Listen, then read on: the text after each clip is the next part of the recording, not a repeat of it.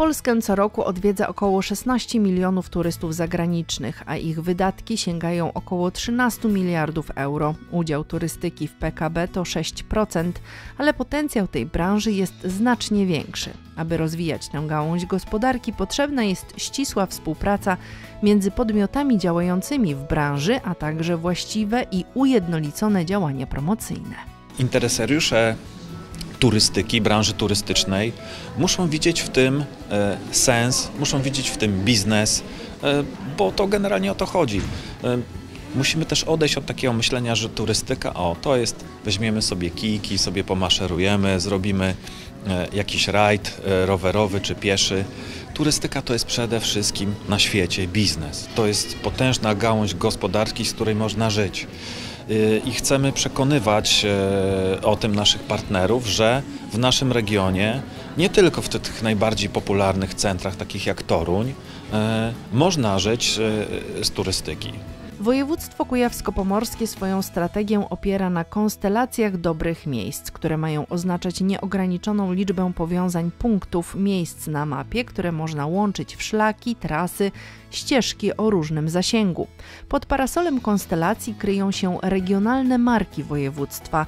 Do tej pory opracowano strategię trzech Kujawy, Pałuki i Bory Tucholskie. W tym roku rozpoczęto pracę nad kolejną Doliny Dolnej Wisły. Hasłem przewodnim ma być połączenie słów slow i flow. Slow wiąże się ze slow life, slow food. Moglibyśmy mnożyć te wszystkie byty, ale tak naprawdę sprowadzają się do pewnego stylu życia. Nie tylko do uprawiania turystyki, tylko do tego, jak, jak e, odnosimy się do siebie, do świata, jaki styl życia preferujemy. To jest slow. Natomiast flow to jest ten dodatek, żeby nie było zbyt usypiająco, zbyt urzekająco, to stwierdziliśmy, że ten flow w rozumieniu przepływu, to jest taka cała teoria w psychologii pozytywnej mówiąca o tym, że y, ludzie, jeśli robią to, co lubią, to tracą poczucie czasu. To, to, to, to, to coś ich tak wciąga bez reszty, to może być bardzo ciekawa książka, to może być film, to może być obraz, który chcemy namalować, to może być wycieczka. Tych, tych, tych, tych powodów, bodźców, które nas wprowadzają w stan flow jest wiele. Dla nas tutaj w Dolnej Dolnej Wisły y, tym flow jest y, to, co się wiąże częściowo z krajobrazem, częściowo z tymi ludźmi, z tą ciszą, z tymi dźwiękami natury, z widokiem Wisły, a może nawet najbardziej właśnie z ludźmi wspomnianymi, ponieważ myśmy mieli tę przyjemność y, tutaj w tym projekcie, że odwiedziliśmy gospodarstwa, które produkują żywność. Dolina Dolnej Wisły, jak się okazuje, to nie tylko natura i piękne krajobrazy, ale także zagłębie pysznych smaków koniecznie musimy tutaj wymienić sery. Nie wiem, czy możemy mówić też o producencie tych serów, no ale tutaj wiodącym takim e, naszym przedstawicielem jest e, Adamczyk. E, tuż obok mamy niedaleko przepiękną winnicę, a jednocześnie no i wina. Jak już jesteśmy w tym regionie, to warto wspomnieć o gęsinie kociewskiej, co, co istotne. Tutaj kolega też wspomniał o piwie Gruczniak, który jest również niedaleko. Oczywiście to, z którego słynie Dolina Dolnej Wisły, to słynne ruchanki z fiutem kociewskim, czyli z miodem z maślanki. Mogę się pochwalić, że właśnie właśnie tenże miód z maślanki jest takim naszym rodzinnym produktem. E, ja tą tradycję kultywuję po swojej śnieżającej mamie. Mamy też mnóstwo takich produktów, które właściwie cały czas się gdzieś przenikają z inną kuchnią, e, bo wiadomo, że kiedyś ta, ta, ta kuchnia była bardzo prosta, bardzo tradycyjna. Nie wiem, kiedyś kiedy Państwo słyszeli o takiej zupie jak na przykład Eintopf albo jak e, parzy broda, jak placki ziemniaczane, jak kluski wszelkiego rodzaju. To są też takie potrawy, które są zarówno u nas znane, jak słynny szander, czyli babka ziemniaczana.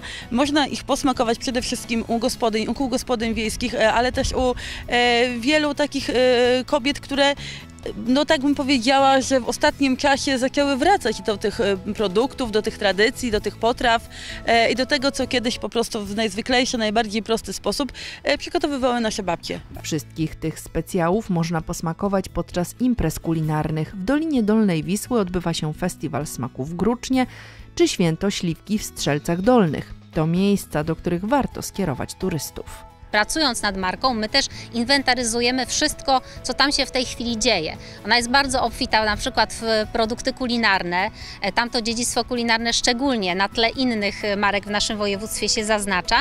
E, No i warto, zwłaszcza mieszkańcom miast, podpowiadać, że właśnie takie zagłębie, nie tylko piękne krajobrazy, nie tylko sielskie miejsca, ale właśnie produkty turystyczne o walorach kulinarnych w tym zagłębiu się znajdują. Markę regionu kulturowego buduje wiele czynników, m.in. historia, kultura, krajobraz, przyroda, zaangażowanie społeczne, odpowiedzialność biznesu czy polityka lokalnego samorządu. Szczegółowe zapoznanie się z ofertą, a także zebranie lokalnych wytwórców pozwoli na przygotowanie strategii promocji marki Doliny Dolnej Wisły, co przełoży się na rozwój branży turystycznej w tej części regionu. Ogólnie jako przedsiębiorcy, lokalni wytwórcy, rzemieślnicy powinniśmy promować to, co swoje. Więc marka Doliny Dolnej Wisły e, otworzy przede wszystkim e, szerszej, szerszemu gronu klientów, tudzież turystów odwiedzenie nas. Generalnie to nam daje marka Doliny Dolnej Wisły. Dlatego też jako marka regionalna Gruczniak chcemy czynnie uczestniczyć w, w promowaniu tego, w tworzeniu tego. Dlatego też moja obecność na, dzisiejszej, e, na dzisiejszym szkoleniu, konferencji, w poprzednich też edycjach brałem udział i to jest, to jest naszym celem, żeby promować to, co mamy, bo większość ludzi nie zdaje sobie sprawy z tego, to, co ma wokół siebie, dookoła, tak?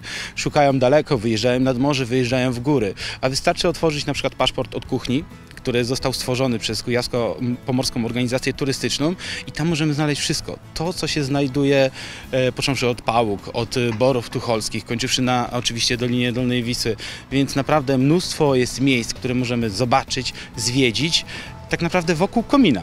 W przyszłym roku na mapie konstelacji pojawi się nowa marka. Tym razem będzie to Pojezierze Brodnickie.